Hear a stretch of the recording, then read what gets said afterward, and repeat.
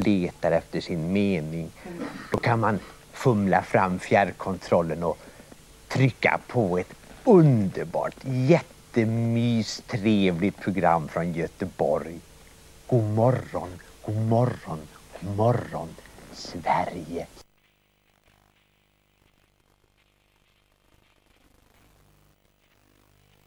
Det finns resor, glöm ej bort. Det finns resor överallt. Ja, den är så fin. Och om ni nu inte vill resa, tycker det är tröttsamt och flygplatser är jobbiga så, så kan ni hitta er glädje i tvn. Och det finns ju tv nu även när man vaknar på morgonen och kryper omkring där i sänghalmen och letar efter sin mening. Då kan man fumla fram fjärrkontrollen och trycka på ett underbart, jättemystrevligt program från Göteborg. God morgon, god morgon, god morgon, Sverige, Sverige, Sverige.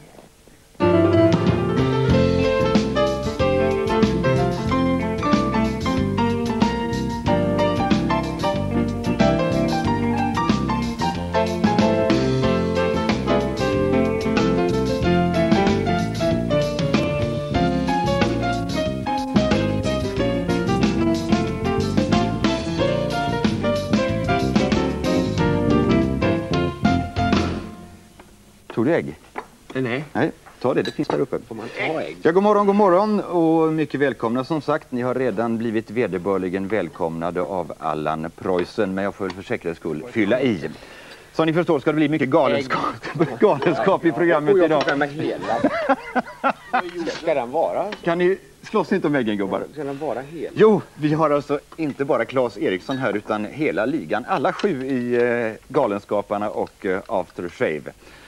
Just nu i dagarna så gör de eh, jättesuccé, vad annars, på eh, Lorensbergsteatern här i Göteborg med sin nya uppsättning Grisen i säcken. En eh, föreställning som jag skrattade hejdlöst åt. Det är en sanslös drift med en, eller ska vi säga två nya aktörer på den politiska arenan. Men det där är bara halva sanningen. Resten ska ni få veta längre fram i programmet. Varsågoda nu, mina herrar, och ta för er av vad ni vill. Om ni tycker om det här, äta frukost tidigt på morgonen, så får ni slå er ner i salongen där och äta bäst ni vill. Jag ska bara berätta lite mer om vad vi har i eh, programmet. Jaha, mina vänner runt bordet. Ni är en, två, tre, fyra, fem just nu. Det fattas två och det har sina alldeles eh, rutiga skäl och randiga orsaker som vi ska redovisa alldeles strax. Vi brukar presentera folk i det här programmet. Det är inte alldeles nödvändigt. Det gäller har man en känsla av, men vi gör det för formens skull. Claes Eriksson, vi där. Anders Eriksson, Jan Rippe, Knut Anred och Per Fritzell. Ja. Ja. Det är alltså två galenskapare och tre aftershavare. Fattas en i varje grupp. Men de ska ni alltså så småningom få se. Som ett par. Jag vet avslöja en. Det är hemligt. Det kanske var... säga vad de är ute och gör. Gör. Nej, nu tycker jag vi lämnar det ämnet och... Ja, det eh, var ingen öl. Nej, förlåt. Vi ska, vi ska istället, tänkte jag, tala om grisen i säcken. Vill ni avslöja vad den handlar om? Ja. Ja. Ja. ja. Lite. har det väl ändå skrivits om en hel del. Så att, eh, det får du allt göra Claes. Det var du som satte ihop det här spexet. Ska jag säga det att ni har fått lysande recensioner. Och jag som har sett föreställningen tycker att det är alldeles mycket välbefogat. Jag har inte haft så roligt på, så, på väldigt, väldigt länge som jag, när jag såg den här föreställningen. Det låter kanske insmickrande, men det är faktiskt sant. Härligt att höra. Tackar. Det var väl det. Nej, men det, är väl, det är väl ändå så att eh, man ska inte berätta för mycket om eh, någonting som folk ska gå och titta på. Nej, jag håller med om det. Och när det här programmet är slut så har de sett det mesta. Ja, Ja, så varför avslöja kan programmet vi i förväg? stryka det som är planerat? Ja, Då ska jag säga, eh, det handlar till delar om en eh, ovanligt skrupelfri grammofondirektör. Ett rent fantasifoster antar jag. Ja visst. Vi kunde ju hade ingen aning om vad, att han fanns i verkligheten. för han, En ren slump. ja, det är en slump. Och vi kallar honom för Rune Backman, heter han i föreställningen. Det är inte i närheten av förlagan då som man sen- senare har försökt få det till att det skulle ha någonting att göra med Men det är en efterkonstruktion. Ja, en jättestor efterkonstruktion. Det har att göra med Bert Karlsson i Skara till exempel, som vissa tidningar har tyckt. Och Ian Wachtmeister har ju ingenting med det här att göra. och, den för, och den delen av föreställningen heter ju inte Grisen i säcken utan den heter Som en kork i mörker. och det är lite tips som valspråk till partiet. Partiet ska vi också återkomma till så småningom. Uh, en av scenerna ska vi titta på alldeles strax. Eh, den ger ett prov på, den inleds med att ge ett prov på hur eh, den här Rune hanterar sina tidigare storsäljande artister som inte säljer längre. Mm. Ja, det är väl tänkt som att det ska ge en bild av hur de eh, har glömts bort, i, om- kan man säga, i hans stall. Då. Ja, Den gamla, eh, ja, det kanske inte ska sägas, ska vi introducera scenen? Eller? ja jag tycker vi gör det. Ja, det är den gamla eh, bossakungen Astor Kvarts som han hade en gång, gjorde stora pengar på. När bossanovan var som störst då i slutet på 60-talet, början på 70-talet. Det vet vi alla vilken enormt fin eh, dans det var. Oh, ja. Vi alla dansat mjukt och härligt till den. och nu har han ju sutt- suttit på undantag ett antal år, stackars Astor Kvarts. Och dyker upp hos Rune och vill göra en LP nu för han känner att det blir det är läge nu för bossanovan att komma tillbaka. Det är ju mycket sånt där, en reminiscenser från förr som kommer upp igen. Och då tycker han att nu är det hans tid igen. Ska vi släppa in Astor Kvarts? Det tycker jag. Gör så, det. dessutom så dyker alltså Runes fru upp så småningom i den här bossanovan. Hon kommer hem just när Astor håller på att dansa för Rune. Och eh, blir så tagen av Runes dans så hon faller direkt in i dansen och sjunger med honom och dansar med honom.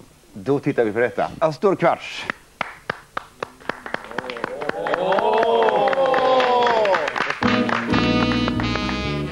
slå ett slag för bossanovan för det är en trevlig dans. Hjälp mig alla som har bossagåvan Så det blir renässans. Låt oss allihop bli bossafrossa Utan bossan i man sjuk Doktor Astor ordinerar bossan För den är ju så mjuk och den gör kroppen mör. Så man rör.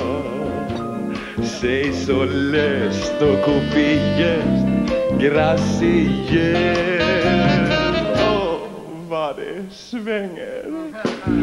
Det har blivit dags igen för bossanova Jag vill slå ett slag för denna fina dans.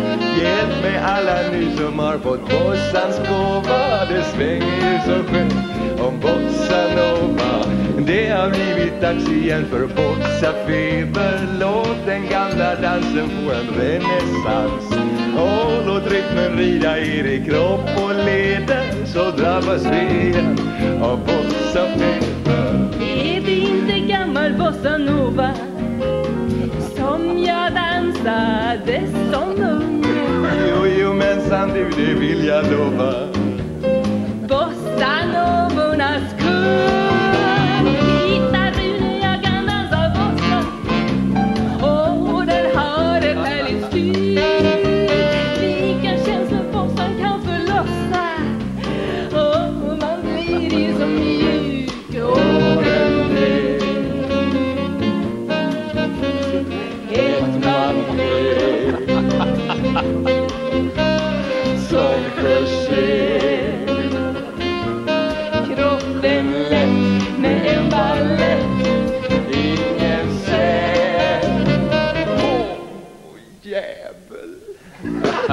Det har blivit dags igen för bossanova Vi vill slå ett slag för denna fina dans.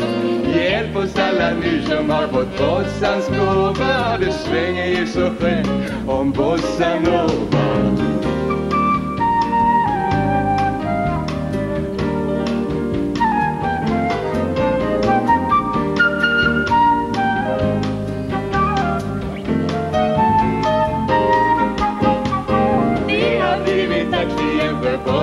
vi förlåt den gamla dansen få en renässans.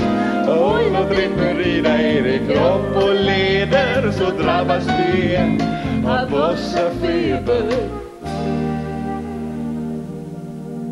Mm. Oh.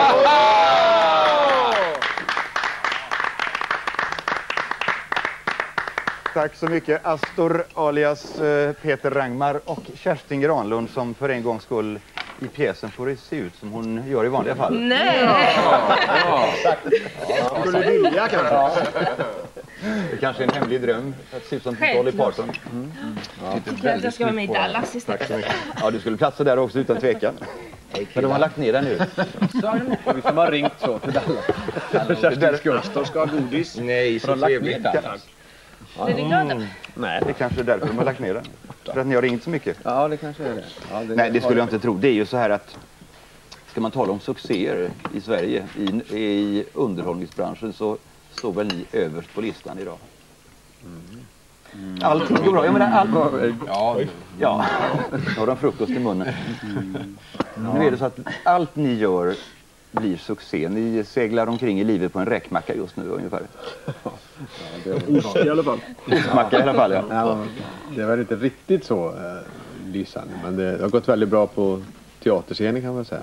Men eh, allt har väl inte fallit i riktigt lika god jord. Ja, på senare år. Men Ja, okej. jag vet att det var lite kärvt eh, i början att ta sig in i Stockholm. Till exempel. Huvudstadspressen var inte så där stormförtjust, berätta. Ja. Vem vill berätta det? Nej, vi, vi tyckte ju att vi gjorde en väldig succé här i Göteborg med vår första revy som heter Skruven är lös.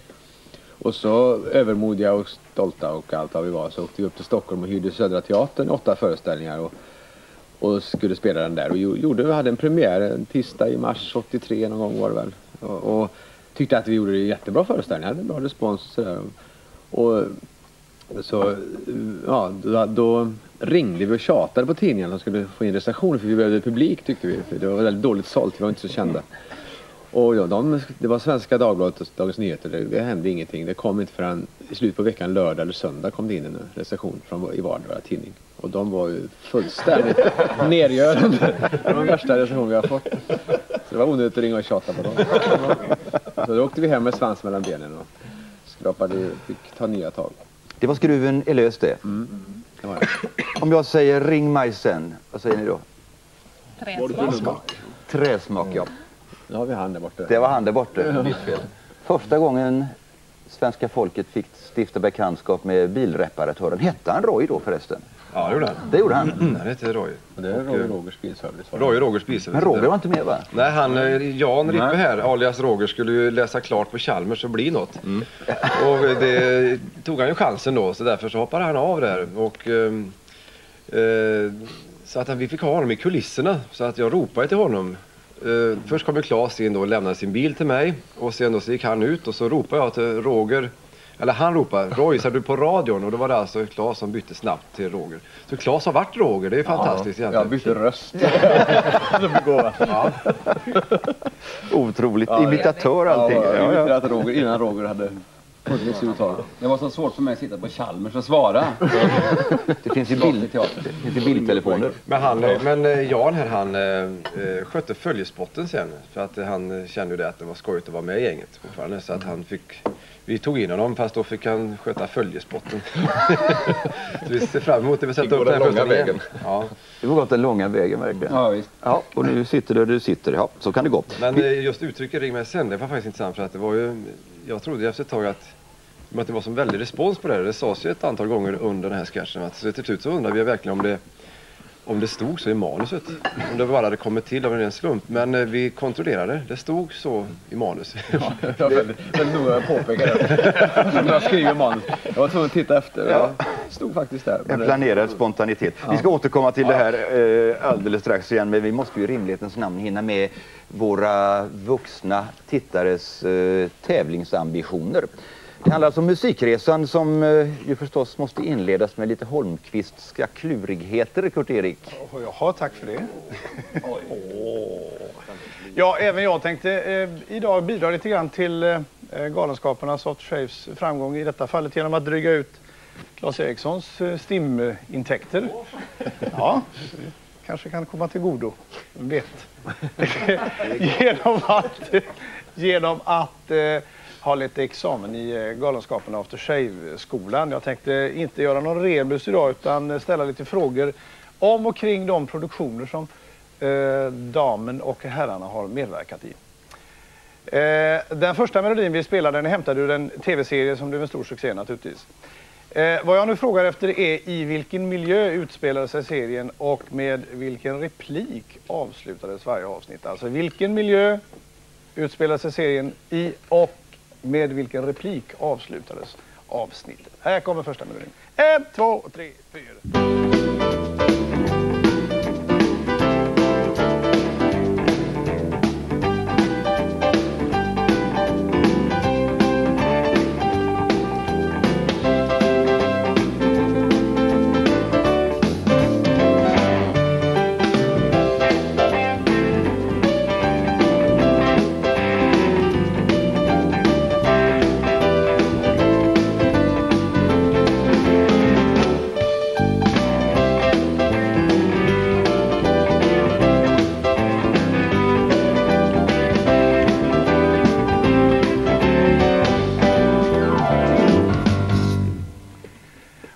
Första låten det, alltså vilken miljö och med vilken klassisk replik avslutades varje avsnitt i serien. Snart kommer den andra melodin. Håll till godo med detta så länge och eh, ge er till tåls.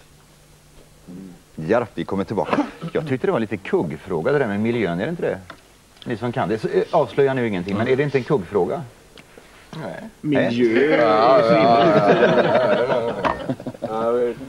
Miljö. Jag, tar tillbaka det. Jag tar tillbaka det. Ja, hopp, vi ska kasta oss ner i eh, säcken igen tänkte jag. Tillsammans med grisen.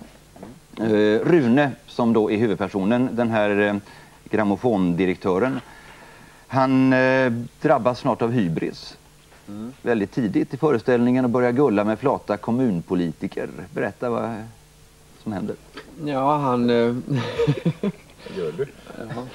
Ja. Han, börjar gulla med kommunpolitiker. Nej, han, han, han vill ju utvecklas på något sätt och, och eh, ja, enligt då den förlaga som vi pratade om förut som en efterkonstruktion Ja. givetvis men som eh, finns då så eh, tog han ju steget från det här artistengagemanget eh, engagemanget till eh, till, ja, han skulle utveckla det och bygga ett stort nöjesfält och, och då måste han ju hålla sig väl med kommunen och eh, det är fria fantasier men ibland är verkligheten närmare än man tror. Eller bättre än verkligheten. Eller vad heter det? Verkligheten överträffar fantasin. Ja, och så finns det någon som sagt att eh, konsten är en lögn som beskriver verkligheten. Det är fint. Picasso sa ni. Det vill vi gärna säga också. Bildad typ ni har. Ja, det är en bildad typ det här. Ja. Man undrar om den här eh, personen inte har några som helst mänskliga eller möjligen medmänskliga drag. Vad tycker ni? Jo, det är klart att han har på något sätt. Det, men, Han är eh, fåfäng. Ja, det är ett mänskligt drag. Lika mycket, ja. Ärelysten. Och så blir han rörd också, väldigt korta stunder. När eh, Ulla sjunger för honom, då blir han rörd väldigt kort stund där. Hur är han som man, Ulla? Svår att få kontakt med. Han vill mest jobba. Och, Helt på eh, gröten. Nej, han är ganska kall. Ja, jag försöker verkligen lägga in värme i rollen. Ja, jo, men, men om vi sjunger Min lille streber en stund och det är mycket och lockar värme ur den här så slutar låten i intet och så säger han tyst innan han går iväg och gör något annat. Hej, nu får jag en hamburgare. Så, och det hör inte publiken ens utan det är bara det är bara till Det dig. var för, känslan. Jag ska beskriva. Jag måste säga det för att få känslan. Alltså. Det kanske låter konstigt men så är det. Ja, det låter konstigt. Ja. Men... Ja, men Ulla förstår mig väldigt bra. Eller det gör hon inte men eh, det fungerar i alla fall. ja, en stund. Ja. Bossa Nova-historien, Peter, hur uppstod den? Ja, ska man säga. Det är ju Claes fel egentligen. Han har skrivit allt. Men eh, vad ska man säga? Bossan, det finns en, en, och det är en lång historia. Man ska försöka göra den kort. När vi gjorde Stinsen brinner så hade jag en rollfigur som hette Harry Järnfeldt. Var han en, en av de två som satt och väntade hela tiden. Han hade en liten passage där han eh, var irriterad. Och den gick i bossatakt. Den här eh, klagovisan. Och det var väl ingen eh, rysare nummer som vi kallade det sådär så men det var i alla fall bossa och det var ju kul tyckte vi. Och sen så var det väl inget mer med det och sen så kom Claes med den här eh, nya föreställningen. Och då hade han skrivit en bossa. Och då var det internt i gänget då, det var ju självklart att den skulle jag göra. Här, inte för att jag på något sätt har propsat på bossa egentligen. det blev så i alla fall. Jo, jo, jo, jo, jo, jo, bossa är ju min grej. Genom åren har det blivit så. få, få, få fylla i den historien att det finns ett litet mellanled där. Att vi, vi hade nämligen en tillställning, vi som hade suttit i säck i Stinsenbrinner. Det var en föreställning med mycket säckar. Och då alla som har suttit i säck hade ett litet kalas hemma hos mig. För att vi skulle då förenas kring den här märkliga tilldragelsen att vi har suttit i säck i föreställningen. Och då hade vi som underhållning till kaffet Harry Jernfeldts bossashow. Så han kom och ställde sig på sin väska och sjöng sin bossa nova plus en till. Och då såg man bossatalangen Ja, en given expert. Ja, visst, då, då förstod man att det här kan bli någonting för alla att ta del av. Ja, det var inte så. Jo, det var det väl Ja, kanske. ja. Ja. Jo, det var då jag tände på bossarna. Man märker ju spelglädjen hos dig. Nu ska vi till, till eh, Lorensbergsteatern. Eh, en föreställning här för, var det igår eller förrgår möjligen? Eh, ja, de ser väl likadana ut från kväll till kväll antar jag. Ungefär.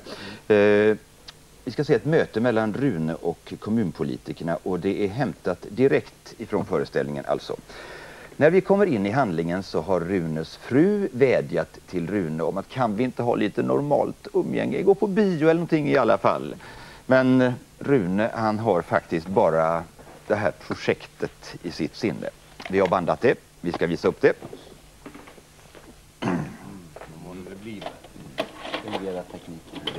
Så där ska vi bara trycka igång. Visst blev Rune rörd av Ullas lilla sångharang Men han hade känsloliv som en orangutang. Så det sopade han under mattan fort och sprang. Många järn i elden hade han men ingen vattenslang.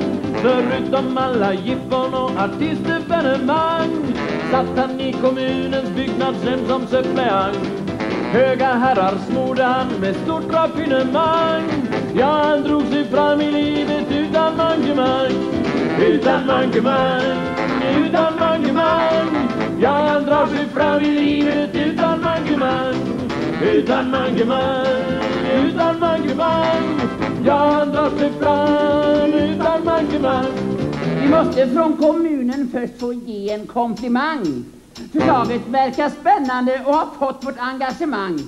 Du tänkte dig en jättepark med vattenarrangemang. Men kan det gå att driva här? Inte publik? Finns det talang. Utan mankemang, utan mankemang Ja, det går att driva här. Utan mankemang Utan mankemang, utan mankemang Ja, det går att driva. Utan mankemang Ursäkta men du menar att du bygger en pandang till hela Sveriges vackra land i ett mini-arrangemang. Men kommer folk att komma hit i ett publikbombardemang? Sverige finns ju redan överallt i detta sammanhang.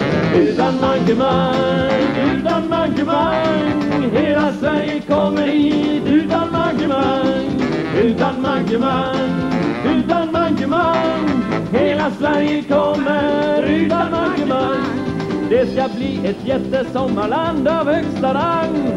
Hela Sveriges bästa sommaretablissemang Utan tvekan störst och värst i dessa sammanhang. Folk ska bara åka båt och kasta bumerang Åka ner för vattenfall och gå på restaurang. Ja, det kan jag lova utan något resonemang.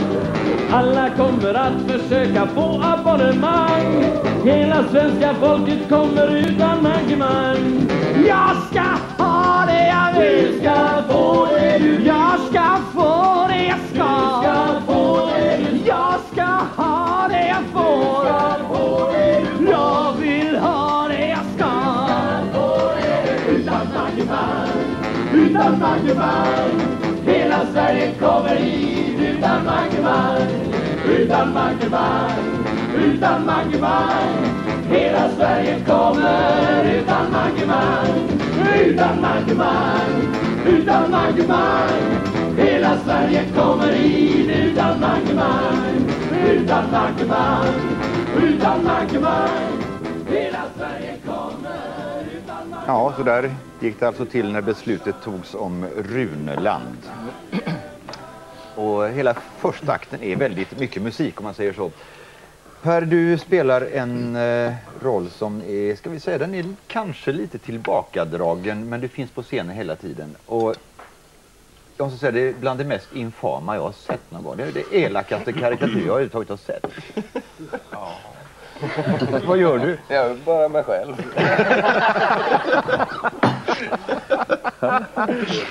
ja, peruk, det är väl det som är skillnaden. Du, du är dansbandssångare. Ja. Du behöver alltså inte gå ut och specialstudera eller någonting? Nej, utan det finns i Det blodet. sitter i dig. Ja. Sitter i dig ja. Jajamän. Ja, där ser man. Jag trodde du hade lagt ner mycket jobb på den jobben.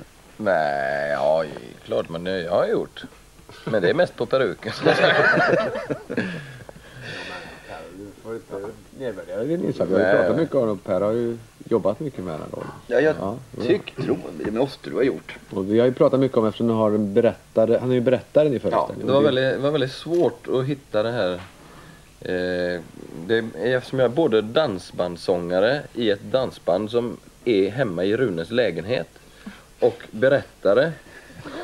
Så det var liksom väldigt svårt att veta när är jag dansbandssångare och när är jag berättare och var går gränsen däremellan? När kan man göra berättaren manerlikt som dansbandssångaren eller så det har varit det var lite svårt att definiera rollens olika eh, platser på scen. Ja, och du struntade i det. Du var dansbandssångare rätt igenom, Så eller? jag gick tillbaka till mig själv och säga mig själv med peruk. Ja. En genomgående tråd i er produktion, så länge jag har följt den i alla fall, och det är från eh, Skruven är lös, och det är väl i stort sett där det började gemensamt. Det har varit att ni fångar den, vad man ska säga, vanliga, lilla människan. Eh, och den representerar på något sätt, de ska överföra det till något klassiskt drama, eller någonting, det goda. Och så finns det det onda, det är yuppietyper och sådär. Och eh, den vanliga människan vinner alltid. Du går alltid, avgår alltid med segern över yuppietypen, i, i någon bemärkelse i alla fall. Hur hittar ni de här eh, vanliga människorna? Jag menar, ni har väl inte tid att umgås med vanligt folk numera? Vad gör vi då? Vi har ju oss själva. Våra vänner har vi också satt. Vi är, väl- är vi själva vanligt folk än så länge. Men... Men det ligger lite i det du säger. Man får ju inte samma bemötande riktigt som man fick förr. Om man, jag tar det här med, som är mest känt kanske med bilverkstaden. Alltså, jag har brukat säga det när man har fått frågan var man fått idéerna till macken så hade jag en Saab en gång som jag lämnade in på olika bilverkstäder och det var väldigt bra källa till, eh, ja, till korn i Mycket macken. roligt. Ja, verkligen. Och den, och den servicen jag får nu när jag kommer med min bil är mycket bättre än vad jag fick då. Men så har du mycket bättre bil nu också. Ja, det är... Nej, Saab är bäst bra bilar. Ja, ja, jag menar inte så, men det är lite nyare modell. Ja, det kan man säga. Ja. Jaha, vi ska återkomma. Mm. Dags för den andra melodin i kvalomgången till Musikresan. Och i den här melodin så besjungs ett fordon. Allt detta enligt vägtrafikförordningen som eh, många svenskar använder sig av i semestertider. Vilket är nu detta fordon?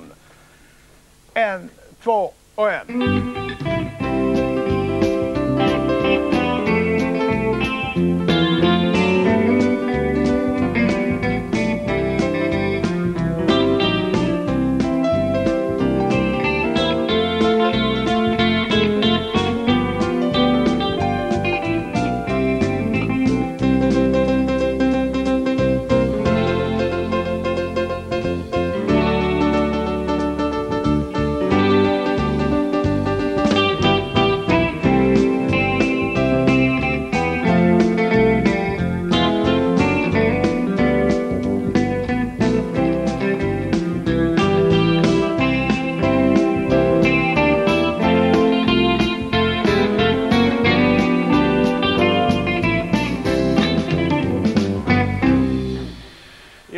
Enligt vägtrafikförordningen så använder sig många svenskar av detta fordon i semestertider. Vilket är fordonet? Kurt-Erik, vi har en bit kvar på musikrebussen va? Ja, visst har vi det. Varsågod sitt Conny. Det där är goa tag, det där gillar jag. Eh, vi ska nu ge den sista melodin. Eh, och där letar vi då efter en man av utländsk härkomst. Alltså en man av utländsk härkomst. Vilken nationalitet har den hett eftertraktade mannen i den här melodin? En, två, tre, fyra.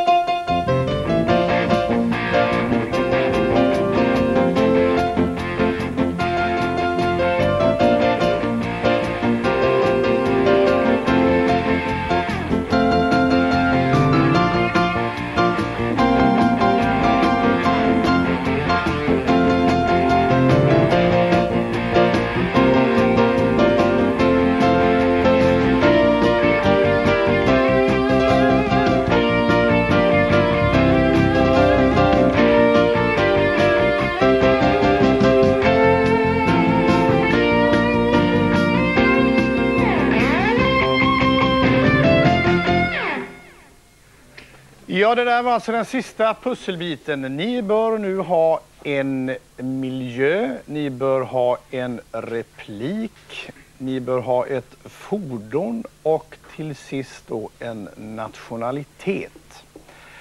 Dessa fyra pusselbitar ska ni ha för att få eh, nu sakta och lugnt skriva fram till telefonen. Ta det gå lugnt, det har hänt många olyckor på väg fram till de här telefonerna. Sakta och fint, hasa med tofflorna på golvet. Slå 031 17 09 20 031 17 09 20. Oh, ja, det kommer så sakta från vänster här. Och välkomna med era svar. Just det, mycket välkomna. Jag vet inte varför jag kommer att tänka på såna här axelvaddar när jag hör den här låten. Jag vet inte. Nej, vad det nu kan bero på. Tillbaka till Rune och hans Runeland, det vill säga grisen i säcken. Eh, han får ju sitt Runeland, men han nöjer sig inte med det heller. Vad är det som händer sen? Ja, sen fortsätter han eh, karriären upp och ger sig in i politiken.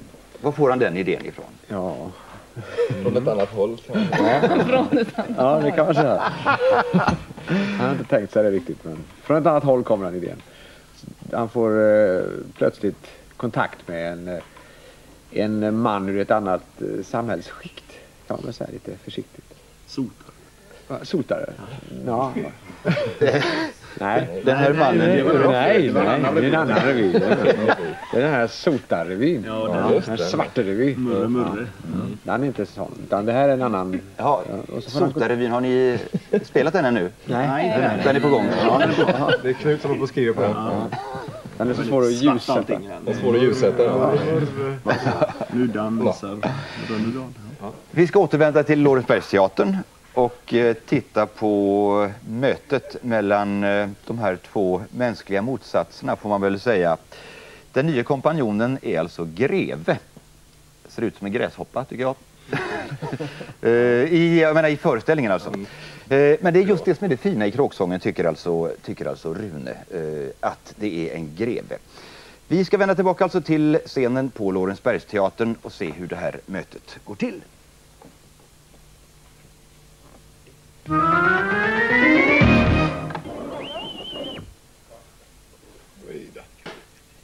Jaha, vi har fått något eh, strul tror jag. Vi får... Eh, det är mitt fel, det är mitt fel. Jag har eh, lagt i fel kassett. Vi får väl byta då. Det väl inte värre med det. Det- Det tar lite tid det här bara med att mata ut. Så gör vi. Och så lägger vi den istället. Sådär. Videos har sina bekymmer. Kan du eh, försöka få igång den Per? Är det en TV i den här? Ja, det är det. Du kan titta på bilden där om du vill. Nej, det kan du inte. Men kan du trycka på rätt knapp? Måste man stå nära? Nej, du kan titta- bara vända dem och så trycka Det, på... det är automatiskt alltså? Helt automatiskt. Ska vi se om du lyckas. Vänta lite ska jag se det. Eh, du, det är fel... Är det på rätt ställe? Vi kanske får backa lite där. Om du backar där först va? Så. Ska vi se. Hemma har jag en sån där, men den låter väldigt mycket. Den här Doink, är dödstyst. Den här är alldeles död. Vi får nog vänta lite till tror jag för att eh, den måste backa en stund till. Backa med. Ja.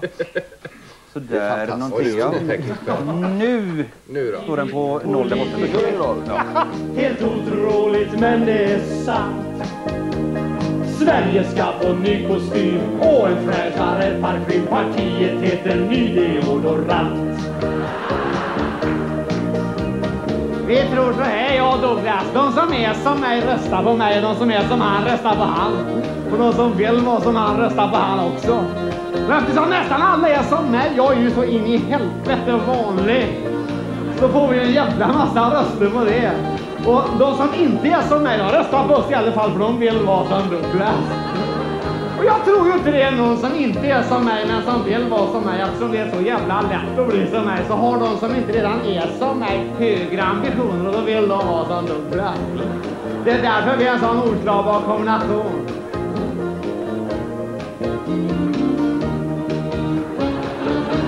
Min man har blivit politiker men inte av idealism eller sociala skäl eller för att han vill väl det är väl snarare av egoism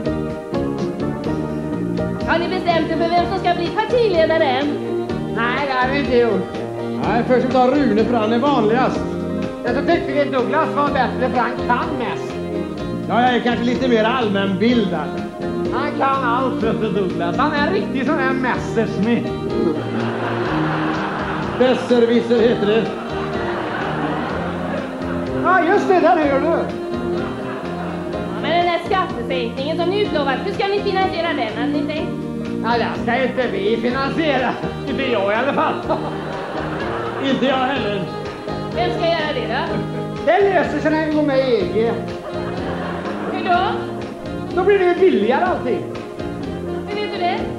Det säger de. Vilka då? Alla. Vilka då alla? Folk. Ja, är man politiker ska man väl lyssna på vad folk säger. För vi har blivit politiker med hjälp av en helt ny metod. Ingen dålig karriär, se på statistiken här, den talar för sig själv. Varsågod.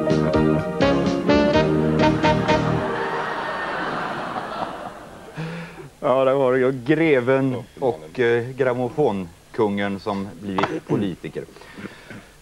En av nyckelreplikerna är att, ja, replik och replik, men eh, ska vi säga andemeningen av eh, ett replikskifte är att allting löser sig bara vi kommer med i EG. Men eh, Kerstin, det verkar inte som Ulla är alldeles övertygad om det. Nej, jag tror inte Kerstin är det heller. Det är inte Kerstin heller. Varför Nej. det? Nej, jag vet inte. Jag är för dåligt insatt. Men ehm, eh, det här snacket om att det ska bli billigare och ta det som ett argument i alla lägen, det tycker jag inte är så bra. Det går jag inte på. Det går inte Ulla på heller, tror Det jag. går inte Ulla på Nej. heller. Vad säger ni andra? Ja, det stämmer väl in. Ja, gre greven här i, det- i föreställningen han har ju den bestämda åsikten att så blir ju fallet. Alltså. Det blir ju billigare allting. Det löser sig precis allt. Och det har han ju då pådyvlat eh, Rune Backman. Och han har ju också gått på det. Han svärde ju allting. Och det gäller sådana bitar i alla fall. Så att, eh, det var inte svårt att övertyga honom det. Och vad tycker Anders Eriksson? Ja, det, det där... Det är svårt att debattera sånt om man inte är insatt i det Mm. till- tillräckligt. Det har varit märkvärdigt liten debatt om det landet innan vi överhuvudtaget... Nu är det sökt och klart, men eh, man, klart, informa- man ska ju söka information. Men eh, det har varit pratats väldigt lite om det tycker jag. Märkvärdigt lite. Men det lustiga är ju det alltså att eh, vad folk har läst och vad folk vet det är ju alla de här annonserna som varit i tidningarna att eh, ikväll har vi EG-priser på restauranger eller kom till oss och handla för EG-priser och det ska vara så fantastiskt billigt. Så det är ju vad folk tror att det är ju, bara vi går med i EG så är ju allting löst. Det står på något vis en stor orange extraprislapp EG-debatten. Det ska gå ut på det på något vis och det tycker jag verkar lite eh, ytligt. Ja, för det är ju inte riktigt det det handlar om. Det finns en del eh, farhågor för att alla de här eh, löftena om guld och gröna skogar inte kommer att infrias. Men samtidigt finns det då en ganska liten säga, kunskap om hur det kommer att bli. Har man inte, jag, jag är lite rädd för att man olika tider har liksom sökt, söker sina argument. Och nu har det varit opportunt att framhäva det här att det är så väldigt positivt. Det, det blir billigare och det blir bättre med EG. Och så kanske man glömmer då en stor bit av det hela. Vi har ju föreställningen en liten rad där om att det ska bli som ett enda stort sommarland för hela Sverige. För alla som har löst biljett. Ja. De som står utanför inte har liksom haft pengar till att komma in. De, hur går det för dem? Och jag är lite rädd för att eh, det kan bli så med den här ja, anslutningen också. Att det, det blir väldigt bra för vissa men kanske inte alla. Mm. Får, man får en känsla av det ibland. Det- Jag, jag, jag har inte gjort någon research man har skrivit det. Man kan tycka att man ska göra det. Men man brukar inte jobba så utan jag brukar försöka veta ungefär lika mycket som alla vet. Alltså, för jag tycker det är en bra utgångspunkt när man ska skriva för alla. Då, då, då vill jag liksom ha snappat upp ungefär det som man kan tänka sig alla har snappat upp. Precis som Anders säger, de här annonserna om att det här blir billigare. Och den allmänna folkuppfattningen om vad, vad betyder EG. Så försöker man ha med det i sånt här revysammanhang till exempel. Mm. Vi ska strax reda ut det här jag tänkt, men vi måste fråga en sak först. eh, Och det är att, eh, ja det är så här, att det här är mig veterligen första gången som ni är öppet politiska. Ja, det kan man säga. Varför eh, valde ni det? Är det stickspår i utvecklingen eller är det ett nytt huvudspår som er produktion har slagit in på? Ja, jag vet inte. Det, får, det kanske jag får ta på mig för att jag skrev ju detta. Det var väldigt, väldigt mycket diskussioner, vi skulle ta, eller ta itu med den här produktionen. För den första akten då som är den här politiska satiren. Jag vet att jag skrev ett litet förord då som vi skulle ha som diskussionsunderlag när vi började med det här i augusti. Och då pratade vi lite om det här. För att, men eh, det, det kändes eh, mera självklart än någonsin nu. Det, det är väl inte så väldigt mycket politisk satir egentligen. Utan Är det är inte? Nej, jag vill snarare säga så att det är väl Ian och Bert som har fört in politiken i underhållningsbranschen. Så att det var... Det var mera så man får se det. va. Att istället för att göra parodi på eh, Army of Lovers eller någonting va, så är vi parodi på två andra eh, ja, som håller på med underhållning. Alltså för underhållningsparodier har vi gjort hela tiden. Vi har gjort Ja. på Melodifestivalen. Jag menar, det bekräftas ju av Bert, han tyckte ju att det var inget märkvärdigt att komma in i riksdagen. Han har ju vunnit åtta Melodifestivaler. Så såg han på det. Va? Och det, det men- menar jag att eh, så på så sätt så vill jag inte förstora den här delen att vi har gått in och ska göra politisk satir utan det kändes eh, väldigt, de kom väldigt nära vår bransch plötsligt. Politiken alltså. Av en händelse? Ja, kanske det. Kanske det. Har du maskburken Roger? Här. Det där är inte maskburken. Det är ju bokföringar. Kikade du inte in i burken när du tog den? Hej. Du sa att jag skulle ta den stora burken med lock på. Den lille utan lock sa jag. Jag hörde du fel? Varför skulle det vara lock på en maskburk? Jag tyckte också det var konstigt. Hur ska vi göra nu då har du tänkt dig? Vi kan inte fiska på gamla kvitton. Jag har en mask i fickan som jag hittade på vägen hit. Vi kan dela den. Varför la du inte den i burken? Locket var ju på. Just det, det var det. Och det var det.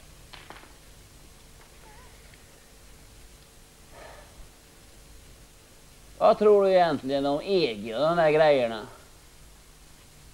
Vad menar du? Blir det lättare för oss nu tror du? Om vi får vara med i EG? Jag ska säga så här Roger. Jag har inte satt mig in i detta med egna vidare, jag har inte gjort faktiskt. Men om det ska bli lättare för oss så hjälper det nog fan inte med något jävla EG. Ja, jag har hört. Jaså? Vem har sagt det? Krasse. Krasse? Och vad vet han? En hel del. Han bär ju tidningar. Ja, just det. Han säger att allt ska bli billigare. Allting kan inte bli billigare. Jo, det säger han. Jaha, och hur skulle det gå till då? Ja, det skulle bli bättre konkurrens och så sjunker priserna. Vet du hur det kan gå Roger? Ska jag förklara för dig hur det kan gå som jag tror? Mitt emot oss vet du, där vi har mocken nu alltså. Där kan de helt plötsligt smälla upp en tysk bilverkstad. Ripp und Rüdigers Automobilen Halle Service. Asså? Vad gör vi då? Men det är bra med lite konkurrens så vi får skärpa oss lite. Och det säger du som inte kan hämta en maskburk en gång. De kanske köper macken av oss. Dyrt. Ja, visst. Och sen när de pengarna är slut så får du gå tillbaka dit med mössa i näven och skrapa med foten och söka jobb. Och så ber de dig hämta en liten öppen sportbil. Och när du då kommer tillbaka med en eh, tankbil istället. För att jag hörde fel. Vad tror du de gör med dig då? Det vet väl inte jag. De placerar dig på museet för encelliga infödingar. Nej, jag säger som Halven. Han är snart hundra år. Du, han blev intervjuad i lokalradion häromdagen utan en sån radionese som var fruktansvärt imponerad av att Halven var så gammal. Farbror måste ha varit med om oerhört mycket i sitt liv. Farbror föddes på 1800-talet då de inte hade uppfunnit bilen en gång. Sen hade de sig flyga, de uppfann radio, tv, film och det blev två världskrig och de landade på månen och allt möjligt. Det är ju otroligt vad mycket farbror varit med om. Hur har detta påverkat farbror, tror farbror? Du, Då funderade halven en stund och så sa han inte ett sket. Ska vi skita i EG då menar du? EG är nog ingenting för dig mig Roger. Det är för de fina pojkarna som kan äta en bulle utan att smaka skitolja. Så det kommer fortsätta precis som vanligt då alltså? Allting? In dig på det. Och allting jävla mask, vad heter du den? I handskfacket?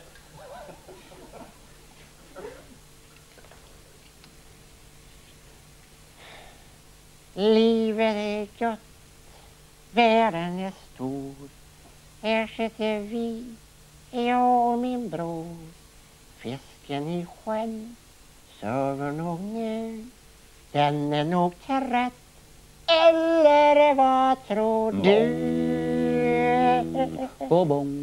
Det ska vara gott att leva, annars kan bong, kvätta.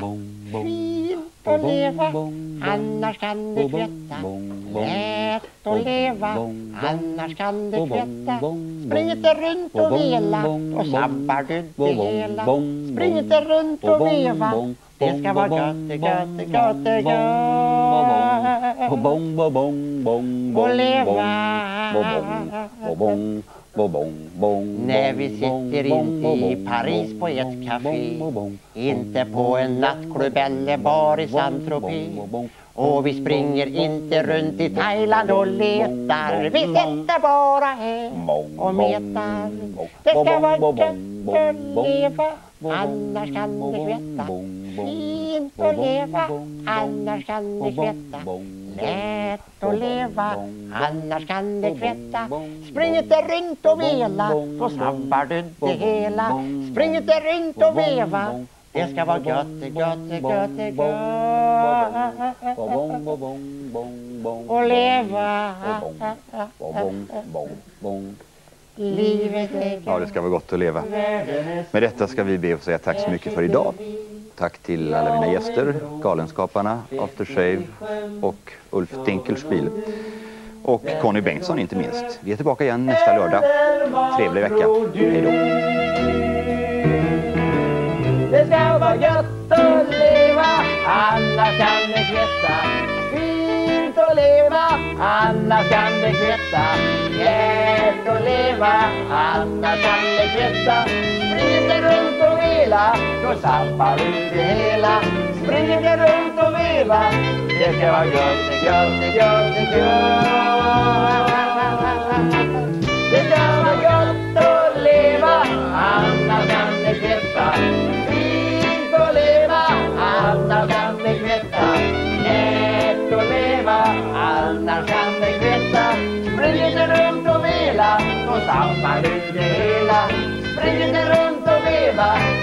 Det